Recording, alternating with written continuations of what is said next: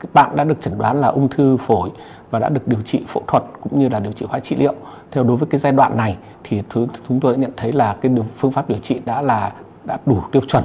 và sau khi bạn được ra viện và đã được hẹn khám lại theo lịch khám của các bác sĩ điều trị, và nếu bạn đã tuân thủ theo cái lịch khám thì rất là tốt. Thế tuy nhiên khi mà bạn có một cái thắc mắc là khi mà bạn ờ, đi khám lại và chụp phim CT thì có phát hiện những cái nốt mờ độ khoảng độ 3 mm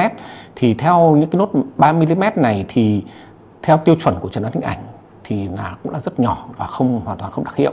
Đối với cả những cái nốt mờ dưới 8 mm là hoàn toàn là có thể là theo dõi. Vì thực tế, trên thực tế là nếu mà để đặt vấn đề là sinh thiết thì cũng rất là khó khăn với cái nốt mờ nhỏ như vậy. Cũng như là các xét nghiệm chuyên sâu hơn, kể cả PET CT nó cũng không có đặc hiệu. Như vậy, theo cái lời khuyên của chúng tôi dành cho bạn là trong trường hợp này thì các bạn có thể, những cái nốt này là nốt viêm thì các bạn có thể theo dõi bằng điều trị thêm kháng sinh, chống viêm và đồng thời theo dõi, tiếp tục khám theo định kỳ theo đúng hẹn của các bác sĩ.